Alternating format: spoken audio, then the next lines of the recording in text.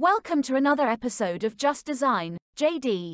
JD is a design community created to share, connect, and learn. The aim is to democratize design learning. This episode is rich and loaded. Get set to relive the experience and glean years of experience as distilled in the wisdom of our guest. Are you ready? now, you're with, welcome. Uh, a little intro of uh, architect uh, Michael Awonowo. Before I do that, just uh, to reiterate what Just Design about. Just Design is a small community of designers and creatives. And uh, the aim of Just Design is, is to democratize design. And by that, we simply mean we want to make uh, design available for all, both for designers, for non-designers, uh, for aspiring designers. I mean, for persons who are students here, we want to ensure that persons have a grasp of design. And like uh, this, this, this community was inspired by, by my, my personal story, where we had the opportunity of learning design from, interestingly, my classmates, uh, my mentors in the industry. And of course, I've seen the power of community in design. Some of the works that we've done uh, have been inspired by the support garnered from, uh, from friends, uh, friends, colleagues who have shared their insights with us over the years. And so I really think that my story uh, shouldn't be for only me, it should be for everyone. Interestingly, our two speakers on this call today I've been persons who have been part of my design journey. Adetola Oyenuga was my classmate. Uh, jokingly, I tell him I, I learned how to draw trees in architecture from him and him only, interestingly. Uh, in design concepts were very influential and inspiring while I was a student. And so I really think I, I benefited a lot from my friends, my classmates. Their work really inspired my design. And I'm really grateful for that. So Adetola Oyenuga, I'm telling you publicly, Uh, thank you for your support in my design journey. And uh, Michael Awonowo here uh, was also very instrumental in 2015 when we were doing the design for the Faith Theater, like now the Art Legacy Project. Uh, that, uh, interestingly, one of the key 3D uh, images that we used for that project was done by Dami Awonowo. We did the design and we called Dami, or oh, Dami, just putting your whole insight. And incredibly, Dami did wonderfully well. So Dami, I'm also telling you the public, Thank you very much for your inputs to the work we are doing. And so uh, we think that design is a community's work, even though a person can have the idea, but really it takes a community to do a great design. And so that's what we really want to champion at uh, Just Design, to ensure that uh, designers are not alone in their journey. And so that's what we are really doing here. And uh, it's my joy this, this evening to bring up uh, architect Awonowo. We'll be speaking for about uh, for about uh, 15 minutes, and then Adetola will take it up another 15 minutes, and then we can take uh, the Q&A. So uh, permit me to quickly just share his uh, profile.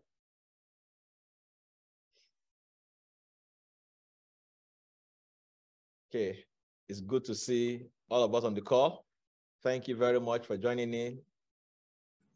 I can see persons are, Dami, now I can see you clearly now. Uh -huh. And so it's good to have us on the call. So just want to uh, be sure that uh, every one of us, we, we are right on the dot. Okay. So just one moment so I can share Adame's profile. Yes, thank you, Dami. So Michael is an avid educator with keen interest in helping people and organizations find uh, pain points and provide solutions to them. He finished from Covenant University from the Architect Department where he bagged the BSc and MS in Architecture in the years 2013 and 2015 in particular. He founded a design consultancy startup that focuses on designing the best work environment for brands to maximize productivity and by the way, that design consultancy is called Mike D. For the past five years, he has, he has researched uh, uh, the connection between productivity and workplace uh, and workplace design in and outside Africa and applied his findings to the work done at Mike D.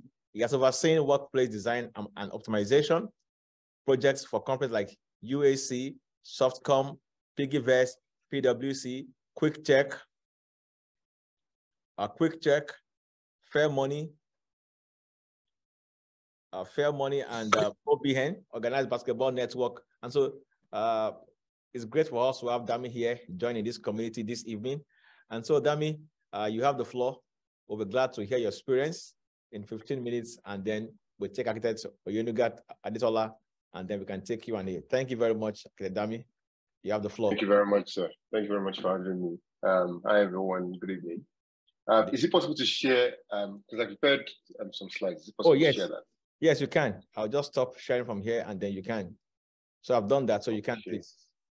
Um, so once again, thank you very much for um, having me um, on this platform to talk about my design journey.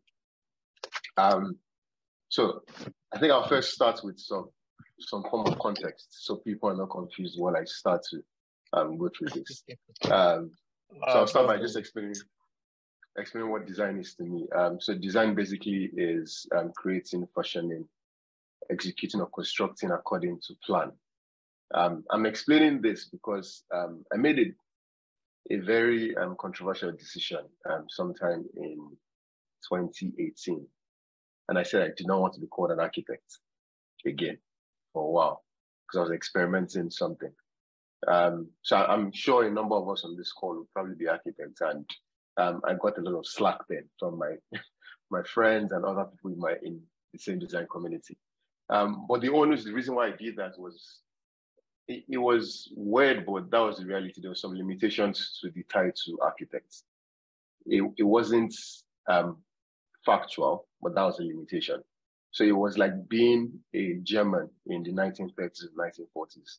People would have said you're a Nazi, whether you were a Nazi or not.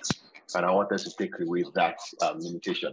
And that's why I'm explaining design, because I technically I call myself a designer. And then every, everyone that works out of our office, we call them designers and not architects. Okay, so just to put that there, um, so I'll just run through my timeline. 15 minutes is quite short, but I'll just run through uh, my story. Um, I'll start from before school. Um, I kind of lost interest in architecture and sometimes 400 level. Some of us might have um, understand that because um, I think I started to hear some stories about architects don't get paid well and stuff like that. And that was sad. Um, also because I had to come back from masters and you're doing an extra two years um, in a profession that doesn't pay well. But in that period, um, I then decided I was going to focus on, I was going to try to figure out a way to get into the industry early. Architecture in itself is a legacy profession. Um, legacy professions are professions that have been there for time, like they have pretty much standards that govern how they work. So you see architecture, medicine, pharmacy, um, law, accounting. And it's very difficult to disrupt or innovate in industries like that. Usually, when you innovate, you still innovate within the parameters that the industry has defined. And one limitation in architecture is that if you don't have a rich background or rich clients, you're not going to go anywhere. And so I was trying to figure out, I don't have a rich background, I don't have rich clients yet. But I'm going to try to find a skill that other people might not have. And that would, for me, that was um, 3ds Max and creating renders. Actually, renders first. So I used to do renders in Revit in school. Studio was my best. Studio was my only course. I came to masters for studio. Everything else was vibes. Not that I did not do well, but you, you get that reality. And in a way, this kind of set me up because when I finished school, um, I got audience um, with some notable people in the industry that were doing what we renders, um, notably Chrono Studios. And that's where I got my first job. Um, that was six months after school. And I remember then, if anyone that was doing that, this was 2015, 2016, Chrono Studios were one of the best um, visualizers in the country. And my goal was to be as good or better. And so everything I would speak, I spent every waking hour working on renders um, every week now working on improving my skill. Now, this doesn't change the fact that I was good at design. It doesn't change the fact that number I was skilled at a number of things. But I wanted something that very few people had. And at that point, um, sometime at that period, I think I got really good at it where I could see I was one of the best um, visualizers in the country. And that helped me get the Chronos gig. It also helped me get the next job after that. And that was in school and that was when I started to learn some things. And And this was so that's past this. And that, that was where I started to learn that some skills were necessary beyond just designing. But school kind of limits what you learn. And that's why platforms like this are very helpful, especially to students and young graduates. Um, and that's why I started to learn what negotiation was. Um, I used to think negotiation was, oh, I have to win and the other person has to lose. And then just by looking at other industries, um, not only the tech industry and what young people like myself were achieving, it it did not make sense to me that I would work so hard because architects work really hard. In school, out of school, we work very hard, but usually you don't get returns for it. And I remember then, that was 2015, the average salary for architects was 80,000. That was very sad. Then, it's, it's even worse then because dollar was 150 then. It was 80,000. That was that was disheartening. But I was really good at renders, and that meant people wanted to pay me more. Yeah. So my negotiation skills revolved around, and that was one year after school. And then around that period, I realized something. I tr- I started. Um, oh no, so something happened. I had colleagues from school that were really good um, with schoolwork, graduated in um, first class BSc, MSc, but were struggling to get good jobs. But I was getting good jobs and I was getting good offers easily. And so at the point, I started to apply to firms to prove to these people that, oh, work exists out there. That there's no vacancy doesn't mean there's no work. And I remember I applied to a number of firms. I applied to Interstate. And I remember the MD making an offer to me. And it was in that meeting with the MD I realized, I think I have something special. Like this is the MD of a firm that's been existing for what, 50 plus years. And the MD actually meets with me, a young school graduate, to sell the company to me and try to convince me to join the office. And it was in that meeting I decided, you know what, I'm going to start a company. And with my full focus on visualization and we'll charge these architectural companies or charge clients. And that's where I started from. Like literally at that meeting, I left that meeting thinking, I remember on a bus back to my office that I'm going to start uh, D. And um, funny enough, after that, um, the GM of Interstate reached out as well to try to convince me. And that just strengthened my resolve that I have something to offer. Yeah. And I'm going to experiment what this is. And so after that, I started McD May 2017. And a month later, a friend that I knew, that a friend that knew how well I was good at renders, tried to introduce me to his company, Softcom. So this project you can see on the screen here is the Softcom office. And I remember meeting um, the CEO, then the CEO and the CSO then. Um, and they asked, what have you done? and all I had were renders. And there's something I've learned, um, something I learned early on. If you're excellent at one thing, people start to assume you could do, you can do many other things in a good way. Like if you're diligent at one thing, people can, people give you leeway to try out other things. And so I was good at renders. My renders were very realistic. And I could convince them that, you know, let's have, he's young, but what can we lose? It's just paper. He's not going to build it. And then it brought me on as an architect. And that leads to the second story. I remember when I got the project. So you can see it's a massive project. I'm a young school leaver. I had no experience. I went back to Canaanland and all of my colleagues then, they were, all of us were working on the um, um, Faith Theatre then. All of them we joined to work on this project. Um, David Dibe, Shola, um, Bapije, Osage, were quite a number. I did not care that. I remember the bill I sent, the design bill was six point something million. The client called me back and said he's paying one million. I did not care. It was an opportunity, it was a massive opportunity. So there's a bit of noise in the background. And that's where it started from. And that's where the next um, point I also learned from this. In your process in um, building your career, especially as a young person, there are opportunities you will get that would be beyond, that would be almost like a favor beyond what your capacity is. And at that point, you need to drop whatever process you've built up over time. So if you say, oh, on average, my work takes three years and um, three weeks to do, if you meet a client that's going to change your life, and he tells you he wants it in one week, don't hold up your three weeks and say, I must do it in three weeks. That's an opportunity to change your life. And I remember then we were diligent with this Softcom project. Like I went for every meeting. This project was based in Ikeja. I was coming from Ota. I went for every single meeting. Initially, the client wasn't quite pleased with the design we did, so he brought in someone else, like an, another experienced designer. And in that, um, I'm bringing in that person, and that person was bringing in process, so we do it like this.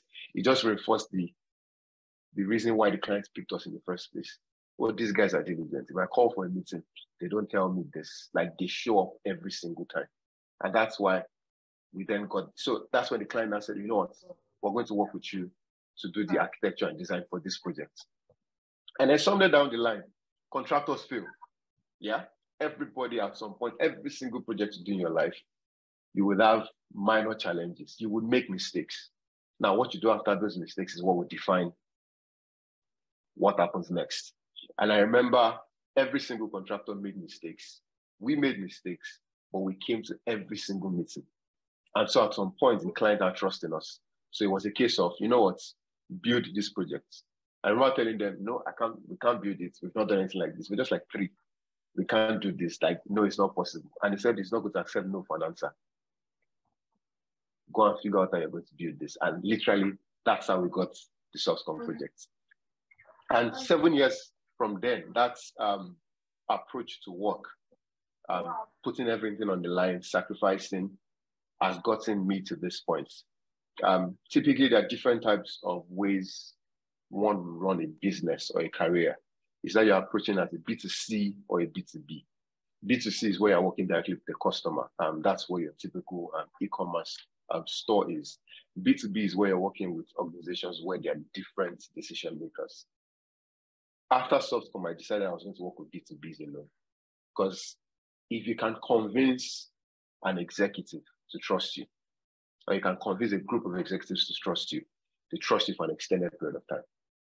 If someone comes to them with something cheaper, cheaper alternative, that it doesn't weigh, it doesn't shake that trust. And that's how over time we're able to do this amount of work in just so maybe it's just five years really. We've done this level of work. And I think it's beyond this because um, this is a bit dated. We've done a lot more projects more than this. We've worked with multinationals like the UN, um, British American Tobacco, PwC. We've worked with multinationals like UAC, um, said um, FMCGs, like top businesses in the country, without any much as a godfather or any backing or whatever. And that just aligns with the fact that if you put your uh, put your foot on a line as far, every project is school in quotes because that's my approach. Um, it changes your approach to things beyond just looking for money. You're thinking, how do I benefit these clients? We've had meetings where I've told the clients, no, don't spend this money. Now that would have benefited us, but that would have been a short term. That would have been a um, short term uh, benefits. But that client today trusts us because he knows, oh, these guys are not necessarily after my money because the value they're bringing to the table is what's um, priority, priority to them. Um, I think I've run over the 15 minutes, right? I think I've exceeded it. Um, Dr. Alade, can I continue? Continue. We can give you about okay. five about five minutes more. All right, five minutes. Okay, fine. All right, thank you very much. I'll just run through it. Um, so I was supposed to talk to just um, two projects. I kind of touched on um, Softcom. I'll just run through some of the pictures of the projects. You can see how much of a big deal it is. Um, I mean, this is one of the first five projects from Nigeria to get featured on ArchDaily. And it was our first project. Like it changed the trajectory of my career. And this was just because I sacrificed. We were there every single time for every single meeting, no matter how long it took, no matter how far it was. Um, Next, the other project I'll talk about is the UAC um, office project. Now, one thing I've learned is money is fickle. Money will come. If you bring value to the table, money will come. The CEO of the UAC project is the third most, um, is the third most, third highest paid CEO in Nigeria of any company, public or private. So we could have gone into the meeting planning to make money of this project But my goal was simple. I want to learn. If you're this experienced and it's quite young, if you're this experienced and you're doing quite well, then I want to learn from you. So, and this was a stepping stone for us because we're working with an organization that has existed for over 100 years.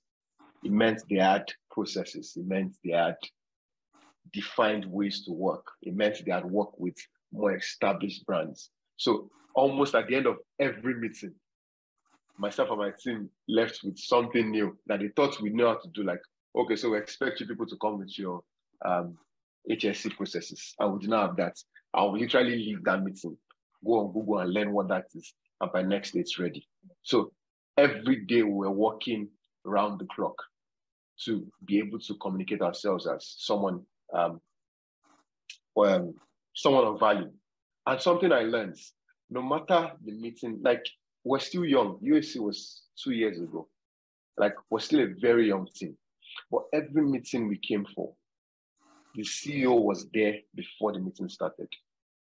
It changed my perspective. And this is someone that doesn't need to be there. Do you understand? It changed my perspective of what professionalism is. Yeah. Because today, um, young people are more excited with making money fast, doing things quick. And sometimes it works out quick. I mean, what we've done in three years, most companies have not done it in 10, 20 years. And that's the reality. So in the end, it has come quick for us, but then we've worked really hard for it. The team has grown well. Like there are things that have formed my North Star, for example, that, oh, my team will always be paid. It doesn't matter. I don't need to drive Benz. I don't need to drive G-Wagon, but my team always paid. So today, McD pays some of the highest salaries to architects and designers in Nigeria, across Nigerian firms. And we're just five years old. But all of this has formed the basis for where we are today in the sense of we're doubling down on value. It's not making, it's not getting rich, it's not a get rich quick scheme. Scheme. It's not the um, blow quick scheme. It's just we're going to bring value, we're going to provide value, and we're going to learn on the job every single day. And that's what has gotten us to this point. And like that's why I can come here and say, oh, there's there's benefits there's value in doing things the right way. And sometimes just putting yourself at the back seat and letting your work speak for you. Yeah, so I think that's that's pretty much it from my end. Um, thank you very much. Wow, that was that was quite insightful. Uh, thank you. Uh, I, think I would just zero in on the last point. He said we are doubling down on value, and that was quite that was quite uh, you know you know, critical. We are doubling down value. I think as designers, uh, a critical thing that we must give the community is value. And as business people, value is what people are looking for. And uh, you know, you mentioned that uh, for every for every meeting, they were always there. That's critical. For every meeting, they were always there. Uh, these things count a lot. And uh, Dami has said that um, they're a very young company, and that for him, the CEO, he doesn't have to drive a Benz or G wagon. That's quite that's quite nice. I hope every CEO does that. So, but for the team, but the team must always be okay, and I think that's what really makes a leader. Uh, so, Dami, I think you've really given us uh, a a mouthful of insights, and uh, I think uh, we'll go with a lot of uh, things to think about. Uh, shortly before thank I call, thank you very much. We're really grateful. shortly before I call the next speaker, I would like to also try to share his profile a bit. And uh, I think, okay, yeah, I think Dami is, is off the, the screen now. So I'll just try to share yes. uh, the profile of uh, Architectola Oyenuga uh, quickly. Mm.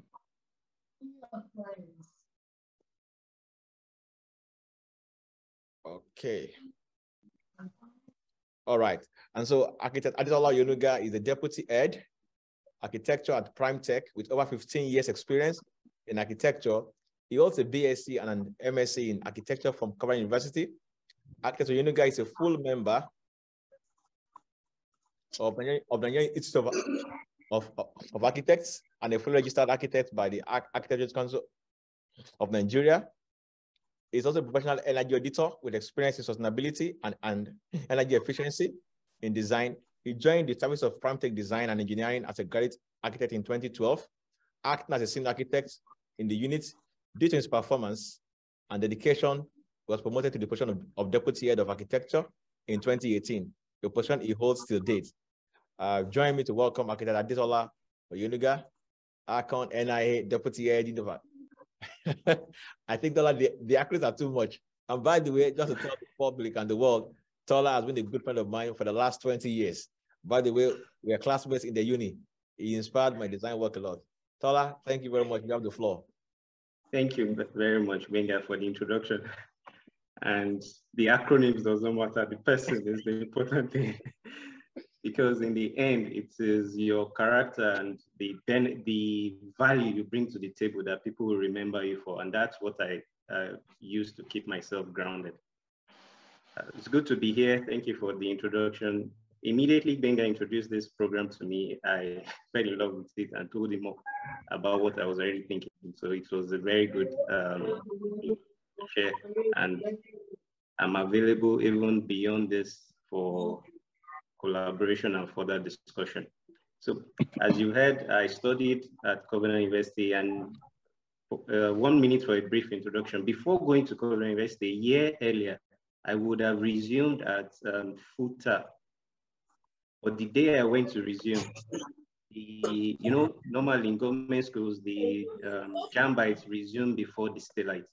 And when we JAMBites went to resume, the Stellite came and started the riot or and cancel the registration because that year government changed um, their government changed students fees from 19 naira to 3000 that's how my story of loud uh, FUTA ended. And i left that and i thought we i started planning with my family that we have to think private. And we were able to uh, coincidentally CU's advert came in maybe a week after that or that month and then that's how I went to, and I don't regret that um, situation or that experience and how everything turned around because I think everything might have been different if I had gone to another school. I'm very grateful for my time there and the lecturers I made, the, the classmates I had and friends I made because it shaped my perspective and my experience in design in architecture. School you get the design brief for a project and you have a short time to do it. Normally, my own strategy while I was in school was not to do something, not to design a typical um, structure that I can easily understand. Let's say instead of designing something regular, rectangular, I would go for using circles or arcs just to push myself because I personally understood that in school to an extent, you can experiment, but in real life, after school, your ability to experiment reduces or it's more costly. So that was my strategy in school and it worked even with the backlashes of some, uh, sometimes I don't get, you don't get the grades, but other times you get good feedbacks from students and everything. But in the end, it helped me, pushed me beyond my limit, my uh, comfort zone, and it helped my uh, career. Because after school, you get into the reward and your brief from clients or from uh, employees are somehow quite different from the free hand you have in school. The client, his expectations is entirely very different. They might have all the money in the world or no money at all, but their expectations on design solutions are usually higher. And it's up to you as the designer to try and marry their expectation and bring out their design solutions. I don't have uh, drawings to show you because right now I'm still working with PrimeTech. I can't show company documents right now, but you, with time, you see some, some of these projects that have been involved in you, you, uh, you might have seen them or experienced them. When I mention them, you might know some of them, but with time, they'll become public knowledge. So after uni, I went for service, served in Abuja. I was working in interior woodwork. And architect Adiboye, our lecturer, then called me that, why did you work with my friend I introduced you to? At that time, you know, we were always chasing the highest salary and things like that. But I thought about it, and it was around the time I was already thinking of uh, joining ARCON and ARCON registration. So when he introduced me to friend, I jumped at it and he employed me. But one thing I noticed from that working it, I was working in, I'd worked, I'd served with him a little, left because we didn't agree on, on salary now that is full time, not NYC. And Hello, everyone. Can you hear me now? Yeah, okay. Yes, yes. Please, what was the last thing you heard? My button went mute by itself. NYC after agreeing on salary. Okay, yeah, so that's fine. Um, so we agreed, I went, uh, I joined, and it was exactly, hello? Okay, that's fine. So I joined him to uh, fill the logbooks and everything. And one thing I noticed immediately with this architect was that, yeah, I was going to site meetings and meeting other architects in the profession and everything. But this particular architect, uh, Abayomi, architect Daniel Abayomi, he had a small office. Most offices then in Abuja, they were working out of shops in malls, what you would call shopping center in Lagos. But that's how the, the typical office here is in Abuja. From his small office in one year, in 20, 2008, 2010, the man was turning over 500 million naira projects in a year or more than that and things like that. Ah, how come this small practice is able to do this? He had the Nike firm and he had a construction company.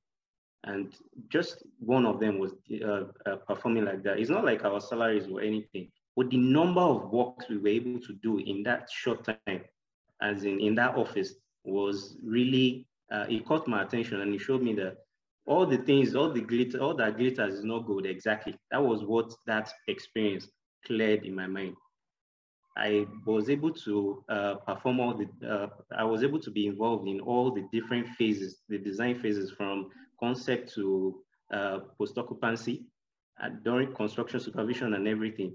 So with small projects, because they were government projects and tenders that we had to win, the reality of uh, design supervision, design consultancy dawned on me that all the expectations of my, all my expectations as a student and all the things I, I thought design was is not exactly what design is.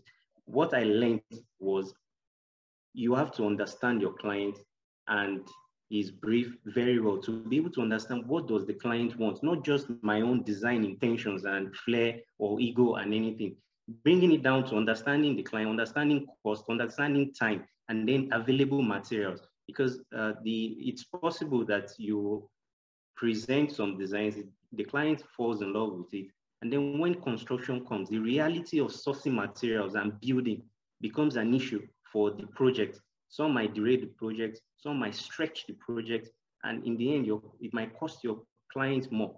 So I, as at that time, I hadn't solved all the questions in my head and all these things about design, but I was um, noticing them in my head and jotting them away and improving as well along the line. And another thing that uh, that built me up that time was, you know, you as employees, you would in your mind sign a contract and want to work eight to five. But Aki, as you all know, sometimes you work beyond that in this particular office, I noticed um, anytime we stayed over on some days to meet some targets, the next day doesn't mean you won't still spend the time to, or you won't still run over time and things like that. So consciously, I started um, putting myself on more pressure. Not, it wasn't from the office, it wasn't from my superior or the uh, business owner, but personally, anytime we stayed for that, I tried to even stay more focused around that time because I know if I can do more this uh, during this overtime, the next day, it is to the benefit of all of us working there that we'll be able to close faster. And in that, that was when I started honing my focus skills or focusing ability. I, uh, my wife would say it's one of my greatest strength and weakness at the same time. Ability to tune out of every other thing, focus on what you have on hand, finish that and move on to the next thing. It's, uh, it's very easy to lose focus. And one of it is uh, you, we, it's, uh, if you don't have a good work-life balance, it's possible when you're at work, you signed a contract for something, you are, your mind is divided because you have other pressing needs psychologically, and you are thinking of what do I need to do, what PP or what, how do I cover for that?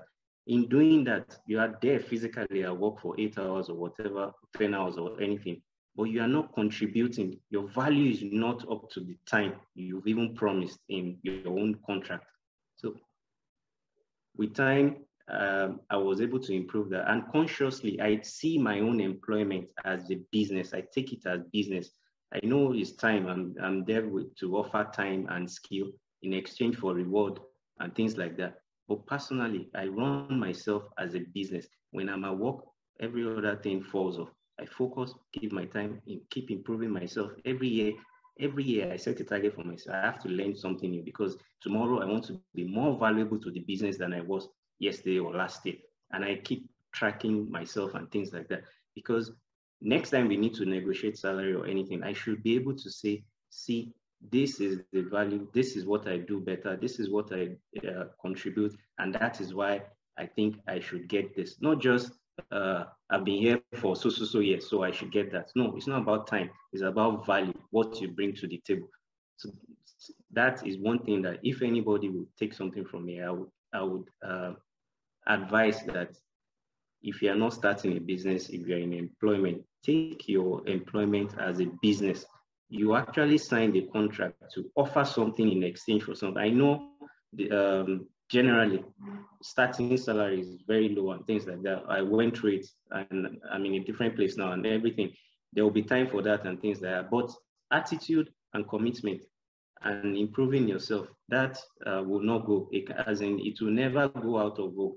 Because tomorrow, in any society, in any environment, people would always demand or uh, require value. And anybody that meets or fills the gap will get the benefits. That's how it works in real life. So an encouragement in that wise. And then I moved over to Prime Tech after some years, after I had finished uh, cutting ARCON and things like that. But one, um, it was a big change again because the, it's a multidisciplinary, multidisciplinary office. We have architects and engineers in Prime Tech design and engineering. And it was a whole new game entirely. And it was beneficial to me and I appreciate it to date because unlike uh, normal practice where the architect designs satisfy the client's needs and then you engage in uh, other engineers and things like that. It's the world is moving away from that. It's becoming more uh, of an interactive, uh, iterative kind of design process where at the concept stage, you try and get in the input. You're not bringing them in as full consultant, but you're getting their input, critical input at that point, so that you build your design concepts and things around that so that when it's time to build, its uh, construction is faster and more efficient. Overall, you save the client money, you get his project to the uh, completion on time. Uh, you, at the same time, you begin to work towards sustainability. In terms of the real sustainability, that's the um, environmental considerations, the people, people in terms of your client and the people, the occupants, the users, and uh, the economic value and prosperity attached to the project for the client. So you, you consider all these three things, and that's what we now do consciously at the office.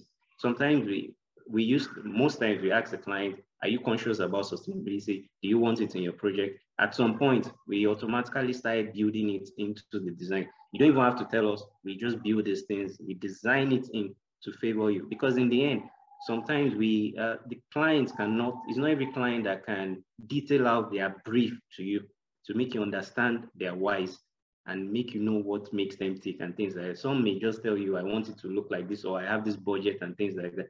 You have to be tactical to understand, okay, yeah, this is what it means. And in his budget and his brief, you try and stay to solutions for him, not exactly, it, it doesn't, at, at that point of briefing, you might not have the whole idea in your head, but one critical thing that is sure that you need to do is, and that, that helps me a lot, is understand the client, understand what they are saying and what they are not saying. We had a, a client uh, recently that uh, anytime we finish project, we ask the client to give feedback and it's written, it's documented in our QM and things like that. So we can learn from each project and know our weaknesses and improve and things like that. The client wrote in his feedback that I appreciate the design team because they listen to me. They listen to our requirements and we're able to solve and we like the project and things like that. But that uh, struck us in the team that, okay, what we are doing consciously in the background, people are actually noticing it because they are seeing how you translate what they are saying to what to the project that they are living with. So that is something to look out for. And you know, someone once said that if the why is powerful, the how becomes easy. That's the thing that clients generally, they actually want a good project. They want a sustainable project. They want it uh, at their price point and things like that. They are not uh, against all the energy efficiency and things like that. But at the same time, you have to make sure you satisfy one other thing for the client, which is what third party, other people think about the client's project. And that has to do with the overall design, the not only the look. When I say design, I'm talking about the uh, building, the utility, form and function, not just what it looks like. It's usually, it's easier to get lost in the form and then overlook the function. But as if you if you really want to design to satisfy all the users and everybody involved in the project, you have to look beyond form and really focus also on the function.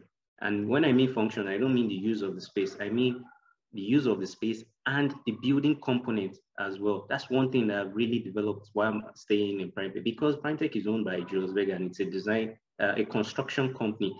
There are some processes that they've uh, developed over time and turned into standards within the organization and things like that. With that, the, the, the bottom, uh, the long and short of it is understanding the systems that work around the building envelope, the building systems and things like that, so that when you're selecting, selecting materials and specifying, you're actually picking material not just for the beauty, but for the function. That's why you see buildings built by these companies that last over 50 years and things that, yes, you, you might need to paint and things, but the, the structure will not give way.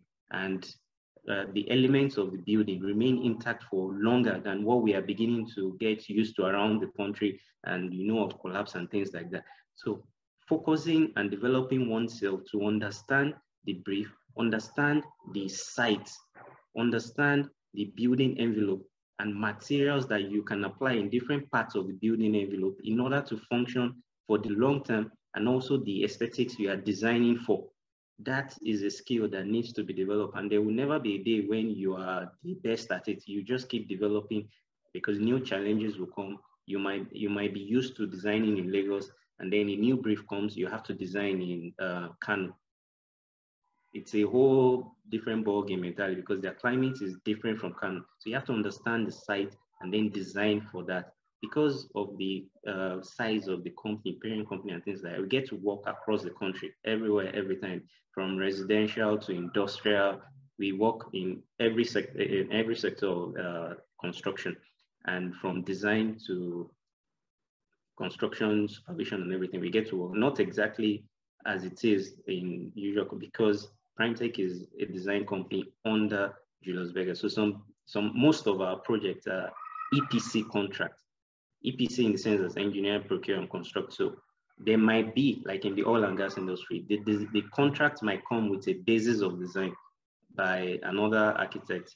And then he comes in, just sketch and um, one to 100 drawings and things like that, and some specific some specifications.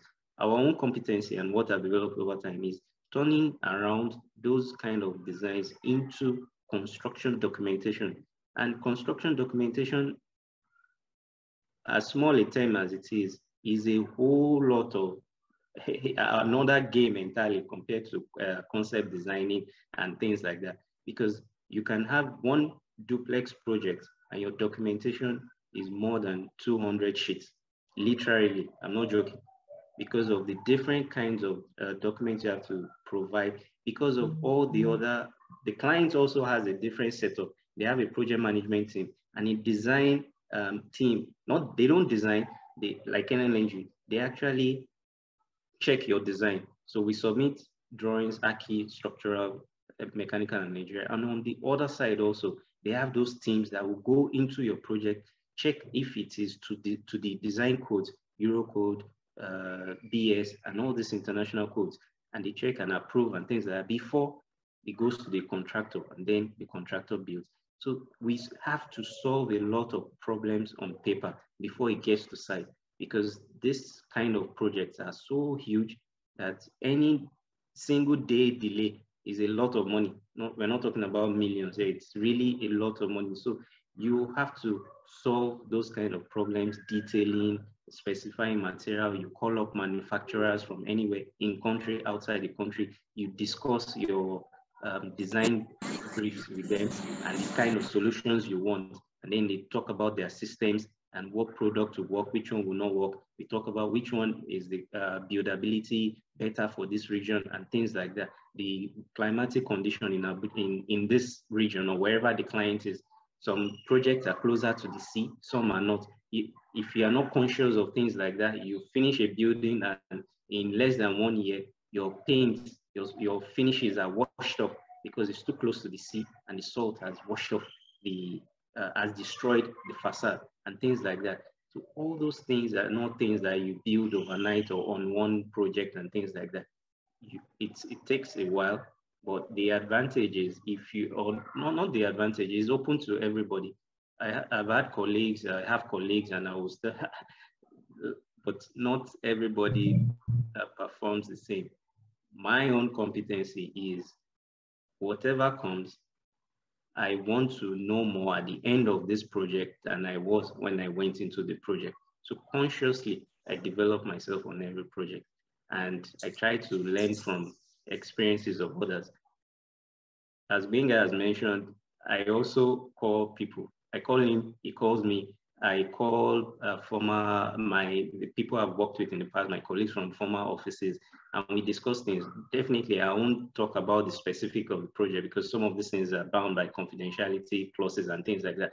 But I gain experience around that I turn around and put into the project.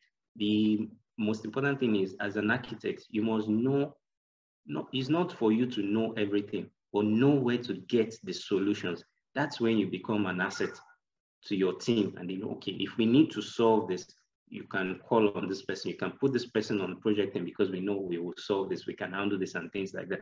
And it helps because not only does it help the team I've been on, it helps in the fact that I've been called to be involved in other things that, like Abraham said, no, like Michael said, you, initially you're not competent enough for that, but they think if you can apply yourself to other things, you will be able to apply that same mind into this and it will work. And it has worked for me. It has gained me recognition and things like that, which I appreciate. And I know it's not me, it's just a skill. If you hone those skills, they will work for you and they can work for anybody. And as Benga said, the intent of this program is that any designer can learn things that work to improve their own designing skills. And that's the thing, that's the beauty of design. Design is not written in stone. Um, like we know, architecture is science and art. We, sometimes it's, easy, it's easier to get lost in the art and forget the science. And that's the thing about uh, big, the bigger you get in the industry and the, the bigger the project is, somehow the science almost becomes more important because you are dealing with huge sums of money now. Uh, if I'm designing a, if, if you, imagine you are my client and your project is 100 million naira. If I make a 1 million naira mistake, you can forgive me. But if your project is 5 billion naira and I make a 1 billion naira mistake, two of us won't sleep. So there are different things at different phases. And the earlier you start developing those skills, the better for you. And it will help you in negotiating as well. So if you would take anything from today, I would advise the following. I wrote down some things for you. Let me just quickly point out to you. I would say don't lose your um, your your uh, presentation skills, the ones you had while making your studio presentations. I know software is changing. Yes, keep up with software as it's changing and develop your rendering skills and visualization and things like that. But what I mean is, what I'm really referring to is site analysis is actually very important not just one page to slap on on your design presentation at the end and say you've done the site analysis. It's actually studying a site to know what exactly is unique about the site that can influence the design. It's things like that that make design unique in such a way that anybody that interacts with the building will understand, okay, this is the natural systems happening here. This is unique and I can feel the impact of that design consideration in this project. So keep your uh, defense uh, project defense presentation skills and improve them as you go into practice. whether as an entrepreneur or as a staff, as an employee of another person, because that is actually, uh, that will get you noticed. That not only notice, it will make you a valuable member of your team. And you can develop interest and competencies in that. Like uh, Michael said, from rendering into consultancy. So visualization into consultancy. What I'm put, pointing out there is that the visualization is telling a story to your client, not as in a story that brings out, drawing out from his brief, your site analysis, what the client wants, what can be done, your design intentions and, and uh, creativity, and then selling that to the client. Not only design, also energy efficiency. Now, uh, the country has the BEC, that's the Building Energy Efficiency Code, which is voluntary for now. It was launched in 2017. They say at some point to become compulsory. Stay ahead of the curve, learn those things and things like that. So that that's part of the thing you can put in your presentation and show the client, my design is saving you 40% over business as usual.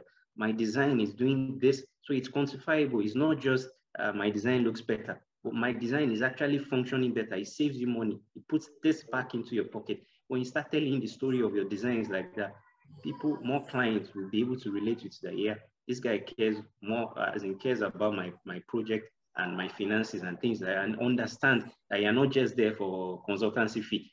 You're actually using your design expertise as an architect to solve this problem. Then uh, I would say iterate a lot. The first concept that comes to mind might not be your, is not always the best uh, solution for the design problem you are trying to solve. Just keep sketching, keep fine tuning. Don't worry about how long, how long or how many um, iterations you have to go through in design and keep an open mind. When people criticize your project, no matter how harsh or reasonable it is, take out of what they are saying and look into it, take out the merits and use that to iterate your design because the thing is the more you iterate, the more you refine, the more, the better the design solution at the end of the day. And you would see it. And sometimes it will surprise you that when I started this project, I didn't think I would design this. At the end of the day, the solution is even surprising you that started it. So that's something that can be learned. Iteration, doing things over again. Anybody can do that. And it, you can use it to improve your uh, design. And have a good attitude to life, work, and business. Try to balance everything. Um, nobody wants a grumpy uh, uh, colleague or business partner. In life, generally, you don't want a grumpy friend. You, you don't want uh, a negative vibe around you. You always want to be with the positive person, the one that has the solution or that knows how to get to the solution. Be that person. Be the one that has the value to give. When you have competencies like that, you'll be able to give better things to yourself. And um, yeah, I think I wish you good health and success and all the best in everything you do. Over oh, to you, Benga. Thank you so much, Architect Tola. Please, can we appreciate Architect Tola in the chat? Let's express our appreciation. Thank you very much. Thank you so much. So just going to the Q&A section now. Love you, sir. Just wrapping there. Please, could we um, mute our mic if we're not making a, uh, a comment uh -huh. at the moment so we can get to hear one another, right? Um, want to appreciate our two guests together, Architect um, Tola and Michael. This has been super insightful.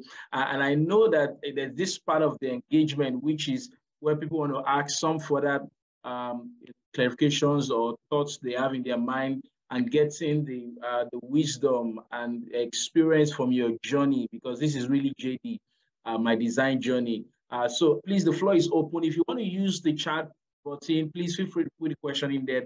I'm going to pick it from there. If you would like to speak, uh, please use the raise hand button. So we'll just pick you um, in, in, in, that order. But, before I start, you know, reading out the question or asking uh, those who have, uh, you know, raised the hand to speak, I'll just do a quick overview from uh, uh, some, you know, highlight from what they shared.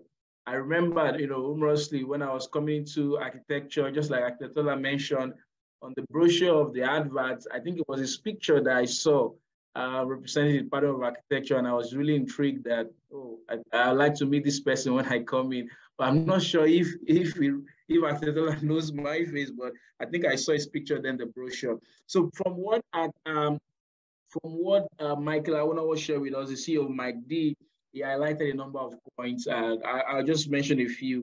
Um, strikingly, said something about the power of negotiation, and which is a skill every architect needs negotiation skill, a negotiation skill. This connects back to uh, what Femi Shotupo shared la last month on Just Design. On top of these various certification, you know, he schooled himself in, and which literally opened the door for him afterwards. Uh, he also spoke about the fact that there may be no, uh, you know, that there's no urgency, that there's no vacancy, rather does not mean that there's no work. Uh, I mean, I took that, you know, down. That there's no vacancy does not mean there's no work um, you know, there's work really. Um, and, and there's a point that everyone has alluded to, which, you know, Michael shared. He said, if you are excellent at one thing, people will perceive you to be excellent in other things. If you are excellent in one thing, you know, people perceive you to really be excellent in other things. And, and that's a very striking one. Um, you know, so, you know, you know, he, he emphasized that if you bring value to the table, no, no doubt money comes in, right? Um, Thank you so much, architect. I will know what for that. Oh, can I use the appellation architect? oh, I just say Mike. All right, so uh, okay, Architect Tola shared, you know, um, his journey. Um, by the way, Architect Tola is the deputy head of the unit architecture, prime tech, and Architect Tola shared something. He said, take your employment as your business. I, I know, I, I, I think Architectola Kemi was also reiterating this last month you know, because I try to always do a connection between the series we're having. And when Akifem was talking about the fact that one major skill architects lack is financial intelligence. Take your employment as a business. And Architect also said something that, you know, um, he, said, he said something that was very powerful. He said, he said, he emphasized the power of attitude to life, to work, to business, attitude. People buying much of not just the skill, but the attitude. People buying on the skill people buy on the skill. It's not for you to know everything, right? But knowing uh, where to get it from. So as an architect, it's not about you knowing everything. Ability to be, you know collaborate with other people, uh, learn from other people. Um, I, I, remember with time at Tala, they invited Tetola to take a session on specification, which something that Tetola also emphasized that that's you know it's it's a, it's a, it's a, it's a different on its own but architects specializing, knowing into you know uh, the intricacies of specification, working to standards, uh, global best practices from whatever project we are on, right? Uh, so I'm just going to go into the, the chat box now. Uh, uh, please, let's feel free to drop in a, uh, uh, you know, whatever. Uh, could it also be a comment? Uh, please, we, we are, you know, this is we're rubbing minds together in this session. If you have a comment you you you, you think, you know, we could just share that with us. Um, and if you want to also speak, maybe ask your, your question uh, live on the call, please just use the raise hand button, or you could just unmute and speak. Uh, just take that before we wrap up. I think we're literally uh, just have a few more minutes before we close this. The floor is open. Um, I, I, okay, somebody said something here. Um, okay, um, Aki Musiri says, I learned to be excellent at one thing and add value, then recognition and money follows. I think it's a comment. The power of reiteration and being open to correction and reviews and making work better was a striking point from the second speaker. Yeah, thank you so much for that. Yeah, that that's that's thank you for that. That's very noted, very noted. And a big shout out to everybody on the call. Um, we have amazing minds across the value chain of design, you know, connected to this experience. We value your time and thank you for, you know, being part of this since we started up. Um, okay, somebody sent, somebody sends a question here. He says, um, um, when did you know when to start your own firm? I, I want to believe this question is for um, my, my D boss, Michael. When did you know when to start your own firm? Michael, could you share, sir? All right. Um, so there, there are two sides to it. I'm a very spiritual person. Um, so there's the spiritual aspect where you're sure that, okay, so I have a leading to do this. So there's that aspect. But then there's also knowing that you're bringing um, something to the table, like you can offer services to people. Because um, starting a business is not easy. It's easy to say, okay, I've started a business, because then you now have to look for customers. Yeah. And you then wisdom is knowing how to put out stuff. So then I used to put out um, a lot of, I used to do a lot of um, practice projects with renders, renders that showed where I wanted to be. Yeah, so I remember doing a render, um, something for Stanbic IBTC um, for a bank then. It was a smaller project, but then I expanded it, I made it bigger. And then that looked like, no one, no one needs to know that you did not do for Stanbic. Like you could do practice projects, make MTN your clients. Yeah, in truth, no one needs to know MTN did not give you the work. People just need, just need to have an idea that, or you can do something of this quality. Because if you wait for work to do anything, you will not get anything. Um, there's that adage in our profession that nobody will trust you to build anything until you've built something. Yeah. And our profession, visualization is, for me, was the easiest way to start. Yeah. Because you do renders that are almost lifelike. And people start to assume, well, I can imagine what that looks like real. So you know what, maybe I think you can do this for me. So that that's that's when I knew, okay, let's let's try this. And there was obviously there was always that option of if this doesn't work out, I'm going to Canada. And I can pursue a career or something else. Do you understand? But like that that's that was when I knew, okay, so I think it's time to start something. All right, thank you for that, uh, Michael. Um, I think please let me know uh, in the chat, uh, the person that asked that to know if that really answered your question fully, or if you want uh, Michael to buttress on that. Okay, somebody's raising a hand, but let me pick this uh, question on the chat. Akintola mentioned understanding the client, materials, and time. I'm particular about time. How do you deal with racing against time to meet deadlines and adding value? For instance, you mentioned iteration, carrying clients along and design process, which you know all of this takes time. How do you deal with the, you know racing against time to meet deadlines? Okay. The way to deal with that is to plan for it, schedule. When we have a client and the client asks us for a brief uh, design cost, what we actually do in the office is we schedule our time, the time it takes to do the project and how much resources do we need for that. What I mean by that is in the architecture team, we'll take you, how many experienced architects do we need for this project? How many junior architects do we need? Who starts working when and when is the other one uh, working? Who is making the concept and things like that? And then we schedule, we make a rough schedule. Uh, in six weeks, or eight weeks, we can finish this concept design and we plan, okay, we can make two options, three options or things like that. So even before giving the clients a quote for our design services, in our mind, we've already planned how long it will take us. In planning for the time and in scheduling, that's when we plan how many uh, weeks, you know, design is front-ended, concept design is happens first. How long to make this concept? How many options do we have to make at that point? That's how you schedule it so that when you, we, let's say you plan for two weeks, that means you're leaving yourself with only four weeks to finish the work. So at that point of iteration, everything happens in that two weeks. Once the two weeks is done, there must be a line on the code that yes, at this point we have a concept design we are comfortable with. Everybody has seen it and we have input from other departments and things like that. And then we go forward into presentation and visualization. It's only uh, sometimes it might happen that while visualization has started, we see something better or someone comes up with something better actually that improves the project, then we can add that like another step of iteration, but we always keep our schedule. We hardly overshoot our deadlines. And then we commit to it if, if we have to work extra hours or things like that, just to make sure we get the client, uh, we meet the client's time. But we schedule, that's how to deal with it. Plan for it.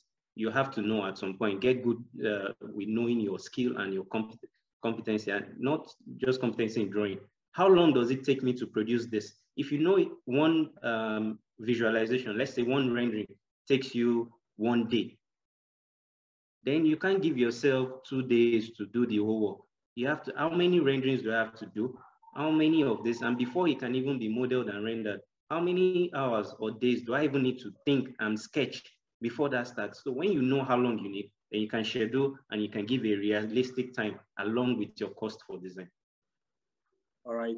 Thank you so much, Architect Tola, for that concise and insightful response. Uh, I hope that answers the question, uh. Okay, I have somebody's raising their hand here, Actor Saleh. Uh, could you unmute and, and speak, please? Uh, good evening, thank you. My name is uh, Saleh and my question uh, is for Architect Michael. And the question uh, goes this way. Uh, as uh, young graduates, architecture graduates, what softwares do you have as a recommendation for us in terms of, because some of us get confused, there are a lot of softwares, we get confused on which software to use, you know, in terms of the 3D visualization, working drawings, presentations, what softwares can you recommend for young architects? That's my question. Thank you.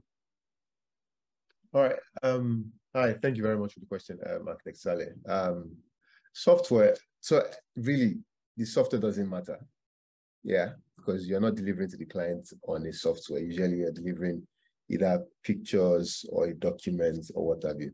But for me, I know I work with Revit, I work with um, 3ds Max. I know I know a couple of people that are excellent with SketchUp. I was not a big fan of SketchUp because back then it, was, it looked like shortcuts. It felt like a shortcut. You get? For many people. Um, but today, there, there are quite a number of softwares. People use Blender, um, quite a number of softwares. The goal is not the software. The goal is to achieve something. You get? So for me, then um, there's someone else, people might know Larry Alao. Larry Alao goes as far as buying, like he got a DSLR camera, so he can take pictures of realistic things and try to imitate them. I did not go that far. Do you get? He explored a number of things. I did not go that far because I then went into um, consulting and construction. But the software doesn't matter. But for me, I work with um, Revit and 3ds Max. I know soft um, SketchUp is kind of easier to um, achieve similar results. Awesome. Thank you so much for that, Actor. Uh, I, I, think if I may just add, I think uh, we were having a session around that um, with the directors of Studio Contra um, at the Department of Architecture uh, just recently. And I think a question around this came especially for young graduates or those who schooled in the Nigerian schools of architecture. And um, they were privileged to school, um, I think in Harvard and Oxford. And so you can that, um, uh, yes, Nigerian architects are good and the graduates are awesome, but um, one of the tools they recommend is, is a tool that focuses on conceptual design. Um, and so they recommended Rhino, um, SketchUp, um, but I think they are they tilted much on Rhino so as to give the malleability and flexibility um, for conceptual design, which from their own observation, Nigerian graduates focus more mostly on you know um, the high-end BIM tools that um, but they in their own practice they use that for production according to what they mentioned but they recommended that for conceptual design. So if, if that's the case, um, you are looking at Architect Saleh, that's also a tool you can add to your toolkit. Like I think, like what Michael said, the focus is not on the tool in itself. Even amidst building information modeling tools alone, there are several other ones. How yeah. the quality of your competency, whichever one you have chosen, is what separates you, at, you know, from the peak of the pack. All right, Chima has uh, a question here. Chima, could you unmute and speak, please? Um, okay, hi, good evening. Good evening. Um, uh, the last speaker, I think, I don't remember the full name, but I think I can yeah. Okay. yeah, he said something about um, knowing the right materials to use per time. And I think that's the most difficult part for me because you have these ideas in your head, but then you're not exactly sure where to source the material or the exact name of the material that you want to use. So I'm asking, is there um, a catalog uh, that he could refer us to, or maybe books or YouTube videos? Basically, just share some materials and where we can learn more about these materials and you know associate the images with yeah what we need per time. Yeah, thank you. Thanks for that, Chima. um, maybe I can send some links to Benga to share with you after this. Uh, the one I would, the one I would share would be uh, a background is generally just using um, LEED as an example. Leadership, you know, LEED leadership in any uh, environmental and uh, efficient and LEED leadership in what's LEED again? Energy and environmental design. Yeah, energy and environmental design. One thing they are trying to do, because they are pushing people, one of the categories is material and resources. They are trying to make people use sustainable materials. And what yeah. they found out, and what is obvious, is that it's not easy for the market to react to that. So they're encouraging people to use uh, materials from manufacturers that have declared that their materials are sustainable. I mean, they've run a study, they have data sheets to, uh, to back it, that, they, that the materials are sustainable. So there are now websites and government institutions that are collating materials like that. I can share uh, such resources with you. But then again, it has to do with where you are. I don't know if you are in Nigeria or not. If you are in Nigeria, you can easily find those things on the internet, but it might be, there might be restrictions on your project. Maybe the cost of bringing those materials in and installing them might not fit the client's budget. Yeah. Or you can bring it in with budget, but there is no, uh, it's not easy for the market. There's no expertise to maintain it. Yeah. And then it's not looking good in five years or less and things like that. So you have to consider and balance those things. But for now, where we get local materials is from Building Expo, ARCON, um, Colloquium, and ArchiBuilt and things like that. Those manufacturers actually come bring their pro uh, products, make samples and show you. And some of them, sometimes after the uh, conferences, if they know you have a live project, they could bring a sample to your site or your office, Aki office, to show you their product and how it works and things like that. And they are in Nigeria already. So some of those foreign products are already in the country. An example is BASF. BASF is a chemical manufacturer in Germany. They are actually in Lagos. So they can they have um, cold roof material, and uh, that's cold applied. You know, you can have the bituminous hot applied roofing material, but there is another one now that is a polyurethane based that you can apply just like paint with the um, foam uh, fiberglass fleece and paint it. When it's dry, it's like plastic and water can pass through it. So those companies are actually in Lagos. You have a lot of materials in Lagos you would find in ArchiBuilt and things like that. So after this, I'll share some links with Benga. And then uh, another thing is um, you might have materials in your mind or you know the name from the internet, but in Lagos market, they don't call them that name. Yeah. So you might have to move around a lot, really check. Just make sure you have pictures of it, not just the brand name, because that's the thing, that's the mistake some of us make. Or you go to the market with a brand name, but they know it as something else. So if you have pictures and videos and things like that, and you go to the market, you'll find some of those things. You'll find. So, but I will still share links with me. Okay, awesome. But the please just to not forget, the key thing is not just picking materials from anywhere. It's actually understanding where, which part of the project do you want to, which part of the building do you want to use the material? Is it internal exposure? Is it external exposure?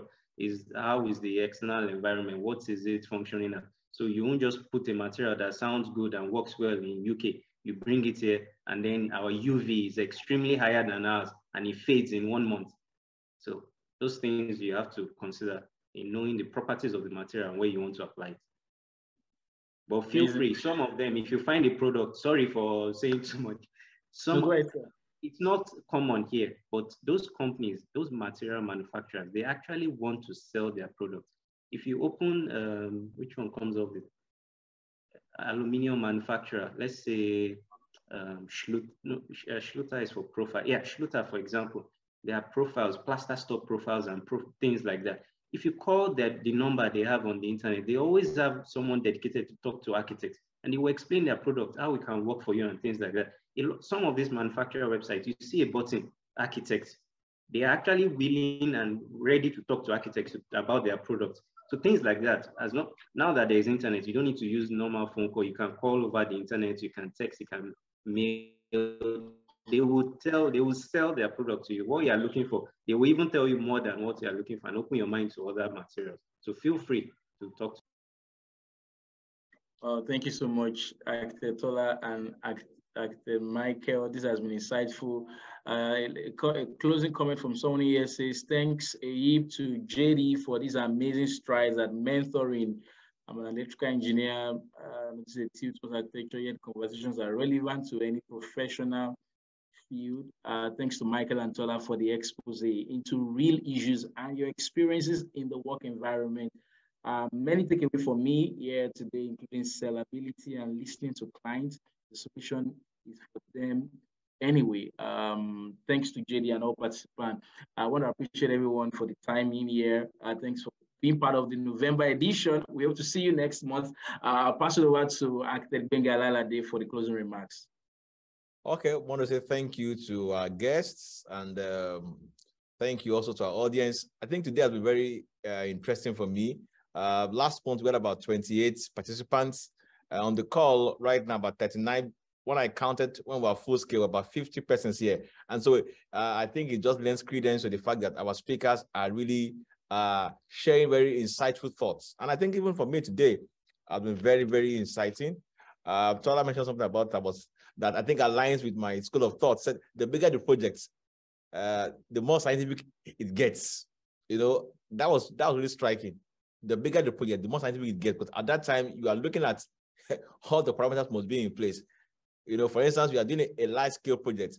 When you increase the building height by just 50 mm, that could be about half a billion in some context. And so it's critical that uh, these things, you know, mentioned with us are, are really, uh, you know, insightful. And, uh, and I think I want to thank our, our speakers and all of us who have taken time to be here. Thank you very much. It's been one hour, 15 minutes of your time. Uh, thank you. I, I mean, people are still turning in at this time. I want to say thank you and hope that next month when we call, you'll be there. Please also help us share the good news.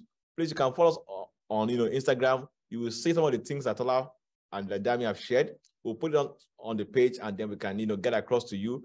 Also, the link I said about, put the link on our Instagram page uh, during the week, and then you can pick it up. Thank you very much, everyone. Tola and Dami, thank you. Thank you very much. Thank you for the invite. Thank you Very welcome. Thank, and, and Abraham, my co-host, thank you very much. Uh, thank, thank you, you, all of us. See you next month. Uh, December 19th will be our next, our next meeting. Uh, thank you very much, and God bless you. Hello, welcome. I'm sure we're going to be having a get together that December edition. So come prepared. There will be something virtual, a get together, um, item seven for everyone.